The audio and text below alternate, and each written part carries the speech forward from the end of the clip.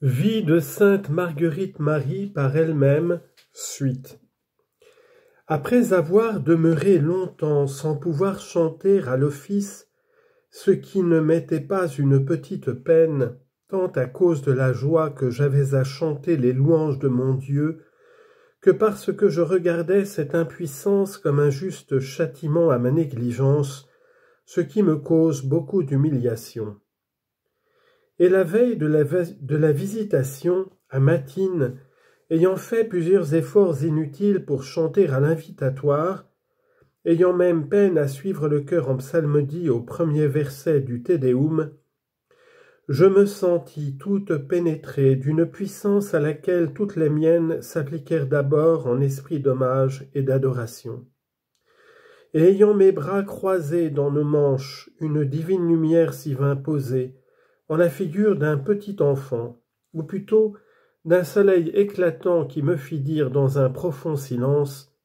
Mon Seigneur et mon Dieu, par quel excès d'amour abaissez-vous ainsi votre grandeur infinie Je viens, ma fille, te demander pourquoi tu me dis si souvent de ne point approcher de toi. Vous le savez, ô mon souverain, que c'est que je ne suis pas digne de m'approcher de vous, et bien moins de vous toucher. Apprends que plus tu te retires dans ton néant, plus ma grandeur s'abaisse pour te trouver. Mais craignant que ce ne fût un ange de Satan, je lui fis cette demande. Si c'est vous, ô mon Dieu, faites donc que je chante vos louanges à cette heure et me mettant à poursuivre le Te Deum avec le cœur, je sentis ma voix libre et plus forte qu'elle n'avait jamais été. Le reste de matine se passa ainsi, sans que toutes les caresses dont sa bonté m'honora me rendissent moins attentive à l'office. Mais seulement tout mon intérieur était puissamment lié à cette divine présence et occupé à l'honorer. Et à la fin il me dit j'ai voulu éprouver le motif dont tu récites mes louanges, car si tu te fusses retenu un peu moins attentive à les dire, je me serais retiré. Tout cela demeura si fort imprimé, qu'éloignant le sommeil de mes yeux, me fit trouver la nuit bien courte. Il est vrai que je lui demandai une grâce pour quelque personne, laquelle il ne me voulut pas accorder ni me rien répondre. Je vis bien que c'était mon indignité qui en était cause. Ayant gardé ma voix assez longtemps, je la perdis une seconde fois. Et l'ayant demandé à notre Seigneur, il me fut répondu qu'elle n'était pas à moi, et qu'il me l'avait prêtée pour m'obliger à croire, et que je devais demeurer contente en la perdant comme en la possédant. Et j'en suis demeuré depuis dans l'indifférence. Et toutes ces peines dont j'ai parlé, je ne trouve rien de si profitable à une âme, assurant qu'elle avance plus en un mois ou même en une semaine de peine et d'affliction, si elle les prend comme Dieu veut, qu'elle ne ferait dans une année entière pendant les douceurs et consolations, même les plus sensibles, car les peines intérieures reçues avec amour ressemblent à un feu purifiant qui va consommant insensiblement en l'âme tout ce qui déplaît au divin amour. Et ainsi je suis assuré que ceux qui en font l'épreuve avoueront qu'il s'y fait beaucoup de chemin sans y prendre garde, tellement que, si nous en avions le choix, une âme fidèle ne réfléchirait pas, mais embrasserait bien vite cette bien-aimée croix, quand même elle ne nous donnerait autre avantage que celui de nous rendre semblables à notre Seigneur crucifié, pouvant assurer que l'on souffre plus parmi les douceurs,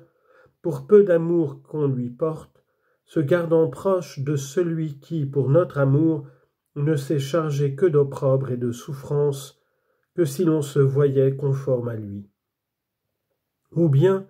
si cela n'est pas, disons que nous ne l'aimons pas, et que c'est plutôt nous-mêmes que nous aimons car l'amour pur ne peut rien souffrir de dissemblable aux amants, et ne donne point de repos qu'il n'ait rendu l'amante conforme à son bien-aimé. Autrement jamais elle n'en viendrait à l'union qui ne se fait que par la conformité. Mon Dieu, m'ayant donc fait connaître que je me devais étudier à devenir une vivante image de son amour crucifié, et que pour cela il fallait travailler à la destruction de tout mon être, et effacer en moi la figure du vieil Adam,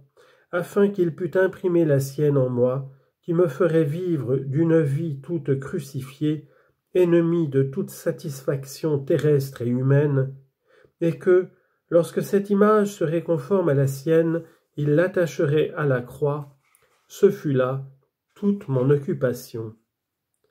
Car dès que mon divin maître m'avait donné une leçon, j'y demeurais jusqu'à ce qu'il m'en donnât une autre,